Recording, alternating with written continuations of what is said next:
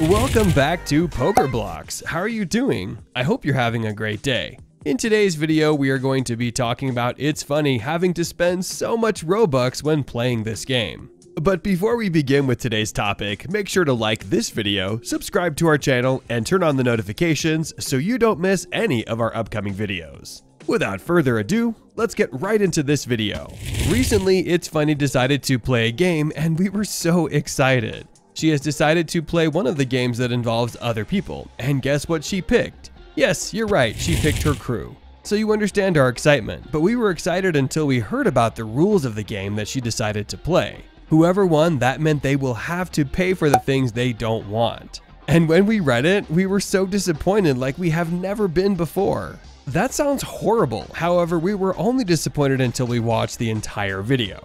Trust us, it is one of the very best of hers. We've seen that she's been kinda slipping up lately with her videos, but this video proves that she is on track. So now let's talk about this video and why it is so great. So first, what was she doing in the video? Well, she was playing a game that was called Word Bomb. In this game, you have to type as many words as you can, and the first one to get it done completely will win. After that, ItsFunneh has decided that whoever will lose will have to buy one of the hideous stuff that Roblox has to offer in their shop. And of course, this is quite a scary situation to be in. But we have to admit it, it's very interesting for viewers. We were entertained the whole time, so we can assure you it's a really awesome way to spice things up. We aren't calling the game boring, but we have to say that the way that Funneh has invented makes it much better. However, you may wonder how this whole video ended.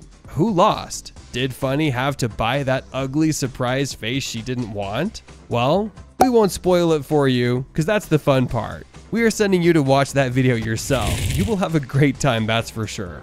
And that's all we can tell you.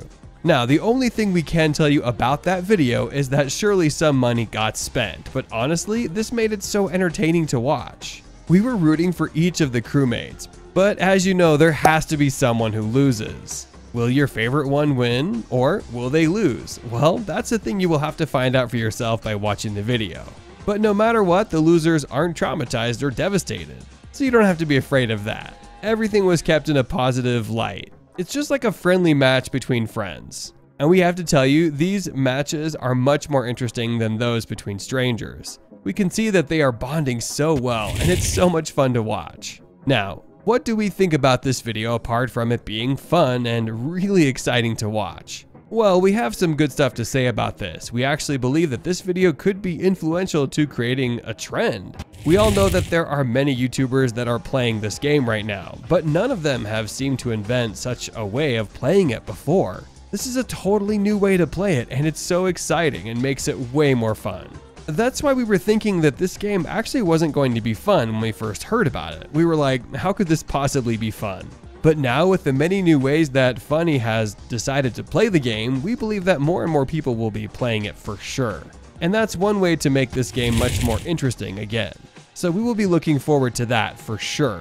Who knows, maybe even Funneh has some more tips up her sleeve, and in other videos she'll be able to influence another trend. We would be amazed if she could do that, but then again, we wouldn't really be that surprised because she's so good at what she does. On the slightly negative side, we want to tell you not to feel inclined to spend as much money as she did.